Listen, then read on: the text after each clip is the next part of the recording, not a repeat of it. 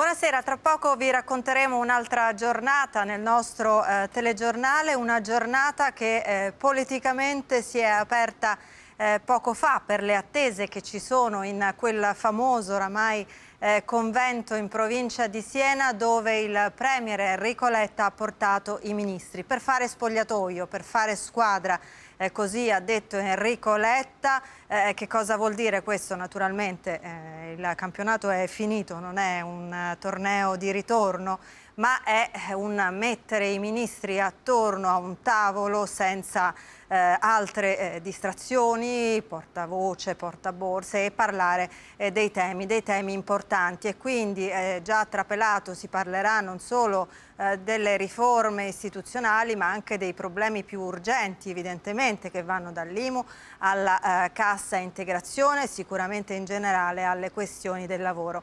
Sono arrivati, sono partiti eh, intorno alle 4 di pomeriggio, tutto in stile rigorosamente sobrio, i ministri a bordo di alcuni eh, pulmini, come vi dicevo, eh, senza nessun accompagnatore ufficiale e si pagheranno il soggiorno eh, da soli. Intanto però ehm, è trapelato qualcosa ed è qualcosa che evidentemente ha a che fare eh, con quanto accaduto eh, ieri a Brescia e con le tensioni che si sono scatenate eh, con un botta e risposta che anche stasera vi racconteremo tra il PD e il PDL.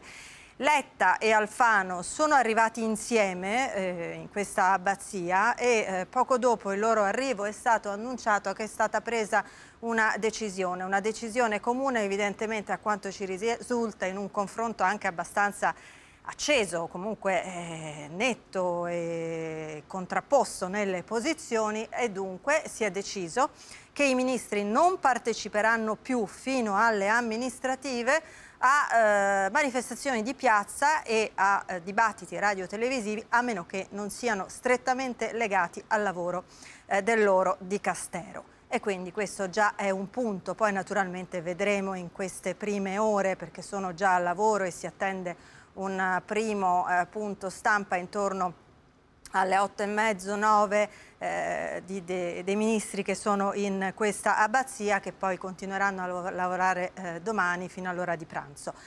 Vi dicevo che in parte questo si lega a quello che è successo ieri e alle ripercussioni che ci sono oggi, alle polemiche che continuano anche oggi per la manifestazione di Brescia del PDL, per lo scambio di accuse. Sapete che il PD per l'appunto ha detto che non era opportuna la presenza di ministri in quella piazza, una piazza che poi è stata trasformata in parte in un duro attacco contro le toghe. Oggi c'è stato anche il richiamo del Quirinale al rispetto delle toghe.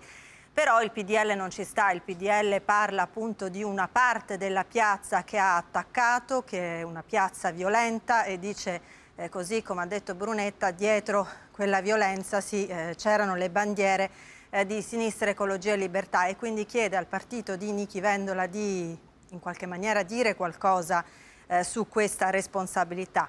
Eh, Vendola ha risposto che il partito che Sinistra Ecologia e Libertà assolutamente è contro ogni eh, tipo di violenza e che non c'entra nulla.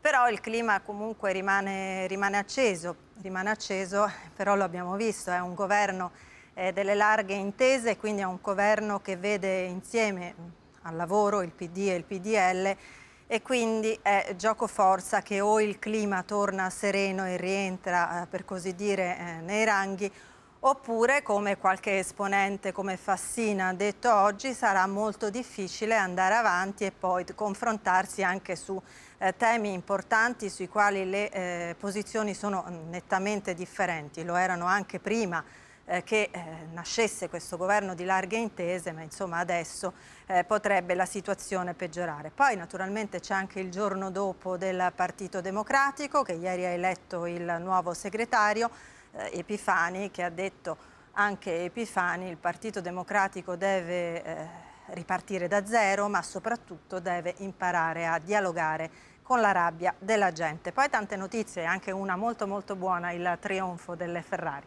Adesso i titoli.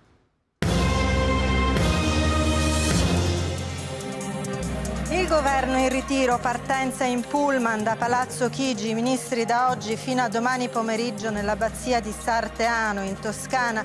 Letta arriva con Alfano e insieme concordano. Da qui alle elezioni amministrative i membri del governo non parteciperanno a manifestazioni elettorali né a dibattiti radio tv che non siano incentrati sull'attività dell'esecutivo. Ancora polemiche sulla presenza di Alfano e due ministri alla manifestazione anti-magistrati del PDL. Il PD e le opposizioni attaccano un atto inopportuno. Gelmini difende il PDL, manifestare è legittimo. Critiche surreali e Brunetta rovescia l'accusa, piuttosto Boldrini e Vendola condannino i violenti contestatori di Brescia. Vendola però replica tra noi non ci sono violenti ma critici del berlusconismo sì.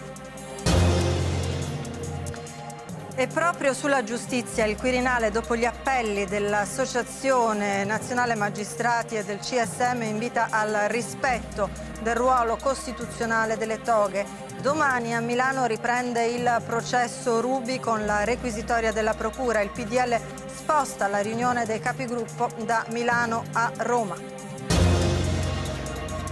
E sono gravissimi due dei cinque passanti feriti Ieri per strada a Milano da un cittadino ghanese armato di un piccone. L'uomo clandestino in Italia è in attesa di una sentenza del TAR sulla sua richiesta di asilo politico è rinchiuso a San Vittore.